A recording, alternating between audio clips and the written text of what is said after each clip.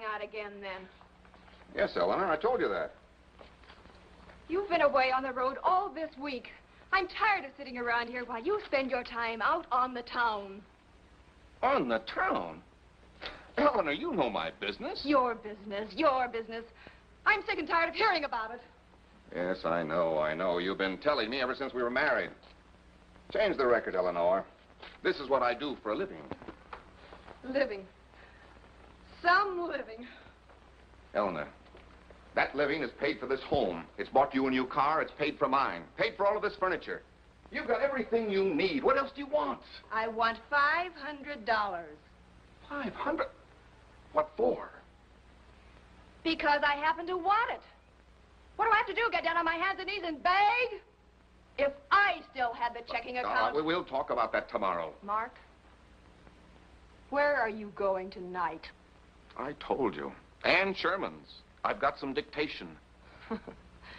Dictation. That's right. You know I've got to get caught up in my work. work.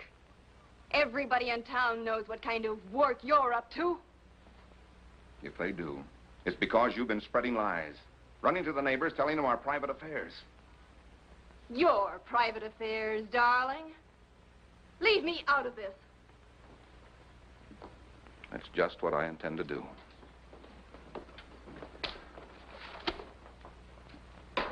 Mark Clayton, I warn you. And I warn you, Eleanor, I can't take any more of this. You leave this house now. Don't bother to come back. I'll be back. And we'll settle this for good.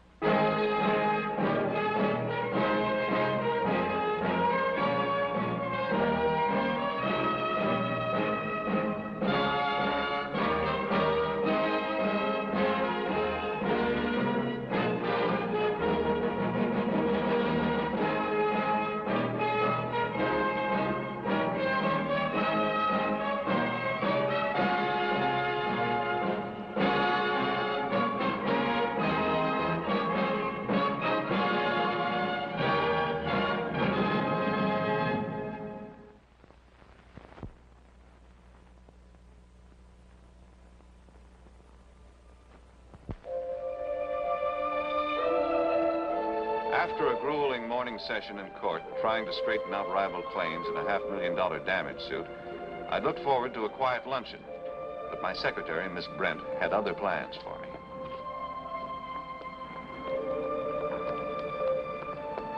Mr. Maris, Breathe deeply and slowly, Miss Brent. You'll be all right. It can't be that important. But, Mr. Maris, I tried to reach you by phone, so I had to bring Miss Sherman here. But you're keeping her at a safe distance. Well, no, I made an appointment for you to see her here. Here? This is my lunch hour. I've got 45 minutes and I've got to be back in court. Please, Mr. Maris, it'll only take a few minutes. She's in trouble. There's been a murder. Look, I've known her for years, and she's an awfully good secretary. A murder? Yes, it's the man she works for. They've arrested him. Please see her, Mr. Maris. All right, Miss Brent.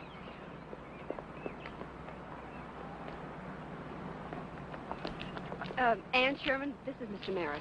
Miss Sherman. How do you do, Mr. Maris? Why don't you two girls have lunch with me and you could tell me what this is all about? Oh, I, I'm afraid Miss Sherman is much too upset to eat lunch. Uh, I could bring you something from the drugstore across the street, though. That's very considerate. Hurry back. Oh, should we uh, sit down?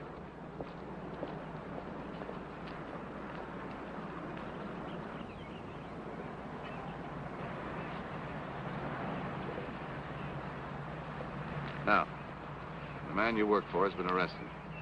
Who is he? And who is he accused of killing? Mark Clayton. His wife was shot last night. Would you defend him? Miss Sherman, my field is corporate law. I know, but somebody has to tell me what to do, what to say. There's something that Mark hasn't told the police. He said he found his wife's body after he came home from a long walk, but But what? Spent the evening with me. At my apartment. Does anybody else know this? Any other witnesses? No. It's not what you think. It was just business, Mr. Maris. He came there to dictate some letters. At night? He travels a lot. He can't keep regular office hours. I knew that when I took the job. Why hasn't he told this to the police? You don't know the type of man Mark is, Mr. Maris. He wants to keep my name out of it. But you're willing to take that risk yourself. What I've said is the truth. I don't care what anyone else thinks. Is he in love with you? No. At least, there was never anything said. If you could just talk to him. Somebody's got to help. I- I'd do anything. The only thing you can do is tell your story to the police. Miss Brent, take down Miss Sherman's statement. I'll take it to the police and talk to Mark Clayton as soon as court adjourns this afternoon. Now, uh, may I have my lunch, Miss Brent?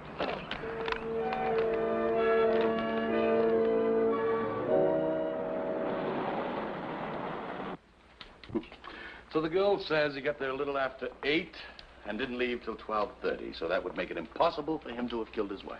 I believe she's telling the truth. Oh, Herb, it sounds like the old story to me. She loves the guy, so she comes up with an alibi just to get him off the hook, but the trouble is he's not off the hook. There's too much that stacks up against him. The neighbors overheard them arguing last night, probably about the girl, and it's common knowledge with them that Mrs. Clayton knew about the girl. The gun was registered to him, and very important, we can't think of anybody else who'd have any reason to kill her. What about prowlers, burglars? We checked it out. Nothing missing, no signs. Then you believe Clayton killed his wife in an argument over the girl. Why didn't he just go to her and ask her for a divorce? Oh, that's how we figured it happened. He went to her, asked for a divorce. She got mad and pulled a gun on him. She pulled a gun? Yes, we got the coroner's report, and the ballistics men verified that the shot was fired from extremely close range. Here, let me show you. Take this in your right hand. Now, there were bruises on her wrist, as though he had twisted it. You see, it all adds up. She had the gun, and he grabbed for it. So it could have been an accident or a manslaughter. Well, that's for a jury to decide, unless Clayton's willing to talk. I'd like to hear what he has to say. Well, be my guest. Oh, Counselor. Oh, thank you. Always happy to welcome you to our jail.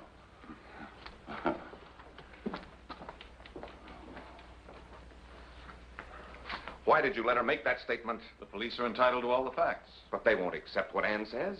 I knew they wouldn't. That's why I kept my mouth shut. I didn't want her mixed up in this, this mess. She's a nice girl. A thing like this could... Clayton, your life's at stake. Ann wants to help.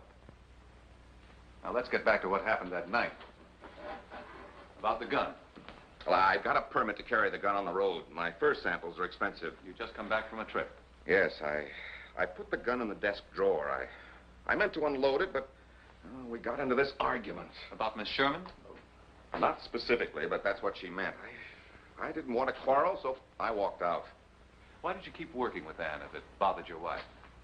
Mr. Maris, that's just one of the things we argue about. I really think Eleanor hated me. Therefore, she hated everything I liked. My friends, my business, my secretary. I couldn't change them all. Are you in love with Ann? No. I could have been very easily. But there was nothing to hope for. Eleanor, Eleanor was a strange woman. I, I don't think she really wanted me, but she'd never let me go. What do you know about your wife's friends or enemies? Eleanor wasn't the kind to make many friends. As far as I know, she, she had no enemies either. And who else would have a motive for killing her? I'd like to help you, but I must have some facts. There's only one person who knows the facts. Eleanor. She's dead. So, Counselor, now you've seen where Eleanor Clayton died. What's she like? Oh, just a plain average housewife with a husband who made a good living for her, no more, no less. Average, Lieutenant? When it comes to human beings, that word doesn't exist. Well, you didn't know Eleanor Clayton. She was a good housekeeper. She had no close friends, no enemies. She didn't drink, paid her bills on time, didn't go to parties, didn't throw any. You add it all up and you get nothing. Maybe that's just bad arithmetic. Oh, Counselor, don't blame Mrs. Clayton for this mess. My boys went through the bureau drawers, closets, and everything. She wasn't exactly a flashy dresser. Well, the tastes were fairly simple. And how does this add up, Lieutenant? Oh, that. that bothered me when I saw it, but I figured even Eleanor Clayton would have a party dress. Like this? Cheap? Gaudy? Well, tell me, Herb, what is it you're looking for? The real Eleanor Clayton. And why anyone would want to kill her. Oh, excuse me, Herb. That's probably for me. Hello? Yeah, this is Weston. Give me that address again. Okay, I'll check on it right away. Herb, look, I've got to run. Will you lock up when you leave? Sure, I won't be long.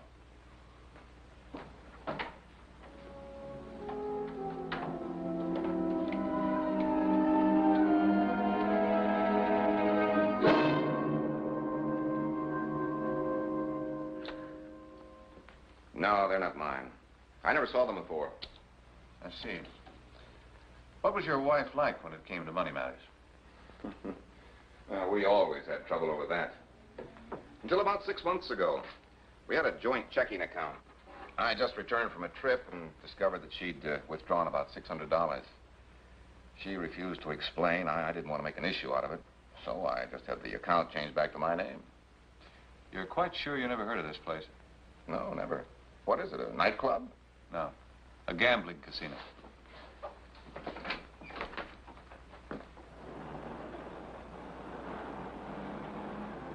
The Lucky Seven was deserted that afternoon. Maybe its customers didn't like to gamble on Friday the 13th. I had no trouble questioning the employees about Eleanor Clayton, but I did have trouble getting answers. No one seemed to recognize her name or her photograph.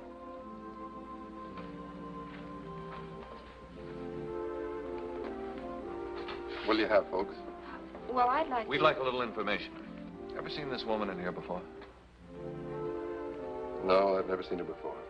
She might have been wearing a black dress with sequins on it, very low cut. Mister, she could have been wearing a bikini and I wouldn't notice it. My job is to sell drinks. Hey, Buster, Yes, miss? what makes you think I'm a miss? What makes you think my name's Buster? Okay, I'm Lillian Doyle. I could sure use a drink. You haven't been getting the answers you've been asking for, have you? And I'm awful thirsty.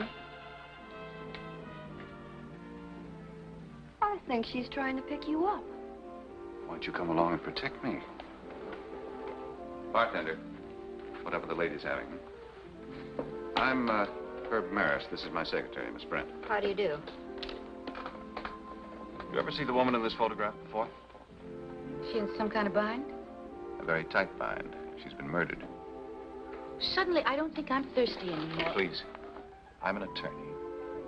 Eleanor Clayton's husband is in jail, charged with murder. I don't think he did it. Look, Mr. Maris, I can't help you. If you can identify the woman in this photograph, it might save a man's life. Simple as that? Okay, I know her. There, we just saved somebody's life.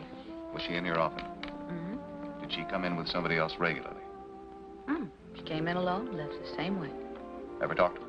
Only when she dropped a bundle at the tables in the gaming room there, which was like every time she came into the place. I wonder if you'd mind repeating what you just told me to a friend of mine, Lieutenant Weston. A cop? No, thanks. I don't think I'd like to talk to cops. As a matter of fact, I don't much think I like talking to lawyers either. Look, Lillian, you're the one person I've found who can testify that Eleanor Clayton lost a lot of money gambling in here. It's a hidden part of her life. I think it could lead us to the real reason for her murder. I need your statement. Please. All right, but not in here. They don't like cops at all. Where? My apartment? Nine? Good. 583 Blackman Street, apartment 7. You won't be late now, will you?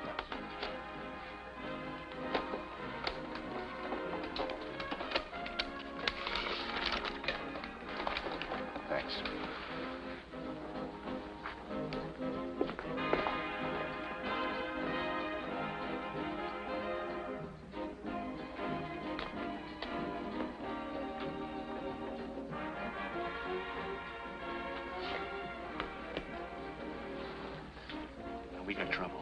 Somebody's around asking questions, a lawyer. Shall I give him some answers? No, no, no, no. It, it's a dame that hangs around the bar here. Now, she's got answers that could fry us both. Nobody else around here would tell the cops a thing. Or maybe she could have an accident. She just might that.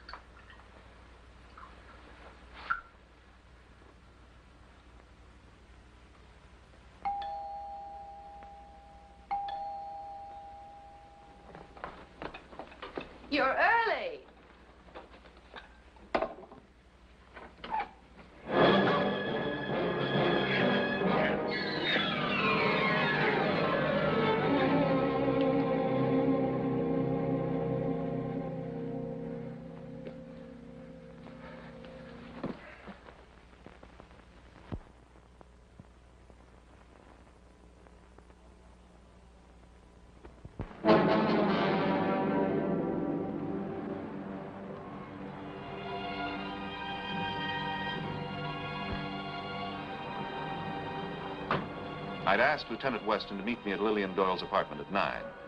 But an urgent call from him brought me there an hour earlier than I'd planned. And the neighbors smelled gas in the hall, and they called us. We found her lying here on the floor with the gas turned on. It looks like a suicide. You said looks like. Yes, I'm on my way to the coroner's office now to find out if they've found anything new. What's the matter, Herb? Poor Lillian. She wasn't the type for suicide. You to join me? Suppose I meet you there later. I've got some business at the Lucky Seven Club first. Bartender. Where can I find the owner? I'm sorry the boss is out. When do you expect him? I don't. Nobody expects anything around here. It's all a matter of luck. Hey, where do you think you're going? That's private back there. Excuse me. You looking for someone? Yes, I'm looking for the boss. That's me. What's your beef? Sore loser? My name is Maris. I'm an attorney. I'm investigating the death of Eleanor Clayton. And I'd like a little information on a woman called Lillian Doyle. Why don't you talk to her yourself? She's here every night. Try the bar. Not tonight. Tonight she's at the morgue. You wouldn't happen to know anything about that, would you? Nobody has to talk to you. You're not the law. Would you prefer the police? Mister, you're flippin'. I didn't even know that Lillian Doyle was dead. She's the only one who seemed to remember that Eleanor Clayton lost a lot of money at your place. Somebody killed her tonight before she got a chance to make her official statement. Look, I've got nothing to hide. Sure, Eleanor Clayton came to my place, and she lost a lot of money. Would you like to know just how much money she dropped? $9,000. Here, take a look at the IOUs. She hadn't paid these up yet, huh? That's right. If she was still alive, I had a chance to collect what she owed me. Now that she's dead, I'm out nine G's. Didn't you try to collect these? I had an arrangement on that kind of deal. Arrangement. Yeah, a collection agent named Harry Rice. He talked to my slow pay customers. Sometimes he got pretty good results. The kind of results that killed Eleanor Clayton? Look, mister, I don't know whether he talked to Eleanor Clayton or not. All I know is I gave him a note a month ago to collect for me, and I didn't get a dime back. Now, that's the story. All of it? I'm leveling with you. If you got any funny ideas, why don't you talk to him yourself? All right, maybe I will. Harry Rice, huh? Him and his partner, Leo. They got an office in town. They're in the phone book. All right, thanks. Do you mind if I take these IOUs with me? You can have them. Take them with you. Thanks. Herb, here's the coroner's report. Shows traces of chloroform in Lillian Doyle's lungs and nasal passages. So she was drugged before the gas was turned on, but there were no fingerprints. Everything was wiped clean. Knobs on the stove and the doorknob. So whoever did this job really knew their business. Yeah. Take a look at these. Eleanor Clayton, where'd you get these? From the Lucky Seven Club. It's a present from the owner. Lucky Seven Club, a cheap joint run by cheap hoodlums. I've closed plenty of them. The owner said that she'd turned the debt over to an outfit Headed by uh, Harry Rice and a man named Leo something. They were supposed to collect from Eleanor Clayton. Herb, this is a lot of money. Enough to put the pressure on. Suppose Harry and his partner called on Mrs. Clayton while her husband was away, and she panicked and pulled a gun on him. Could be. She was shot. They get out. There was no way to tie him to the killing. No way until Lillian Doyle said she'd talk. She could testify that Mrs. Clayton lost a lot of money there. So somebody got to her first to cover their tracks. Have Harry Rice brought in for questioning. No. Uh, we really don't have enough evidence to go on. I've got a hunch our only chance is to catch them off guard. Now, if you'll cooperate, this is what I had in mind.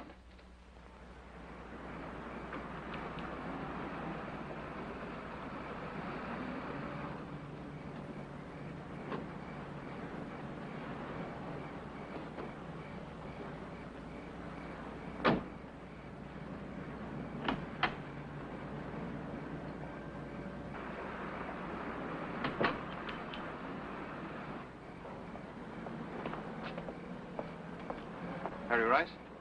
Yeah? My name is Maris. I've got a job for you. Well, look, Mr. Maris, it's pretty late. The office is closed. But this job can't wait. Here, I want you to collect on these for me. I'm not interested. Maybe the police will be. I've got a story that goes with these IOUs. What is this, a shakedown? Let's hear what happened that night you called on Eleanor Clayton to collect this debt.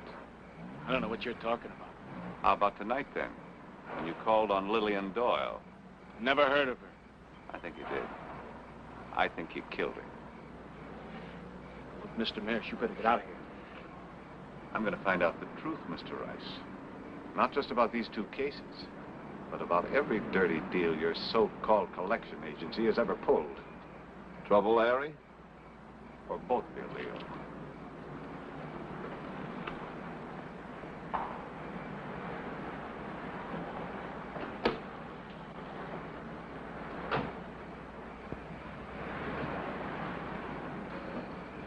We got to start packing. This guy knows. He sure does. If you hadn't messed up on that Clayton deal. It was an accident. Anyhow, you got no gripe coming? The other job I did tonight was nice and clean. Yeah, but what good was it? Now we got this lawyer on it. You know, he'll go to the cops right away. Not if we get to him first.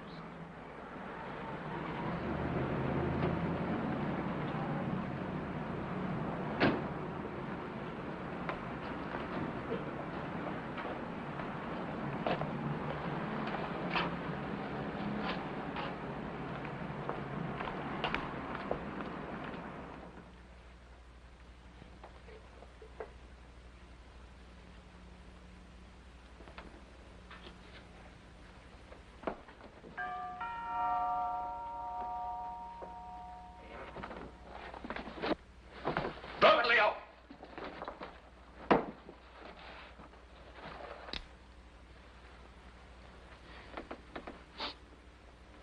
Well, that's chloroform, all right. Leo, what were you trying to pull? Who, me? Why, I... You always carry chloroform when you visit strangers? Yeah, I got to. I need it for my fainting spells. Don't tell him anything, Leo. We'll get ourselves a lawyer. I'm a lawyer, Harry. Maybe I could get you off. The way it looked tonight, it was Leo who killed Lillian Doyle. If it was Leo who shot Eleanor Clayton, you've got a good chance of getting off. You could plead that you tried to stop him from those murders and you failed. Was that the story, Harry? Well, can I talk to you in private? Fred, take Harry downstairs now. Hey, wait a minute, Harry! Just a minute, Leo. You better start telling your story before Harry does. Yeah. Well, there was an accident with that Clayton dame, all right. We only wanted to collect the dough. And she pulled a gun. I grabbed for her and I went off. And Harry figured we had to kill this Lillian Doyle. Are you willing to sign a statement? Yeah. You ain't gonna let him get away with this story, are you? No, Leo. He won't. You won't let him. Let's go, Leo.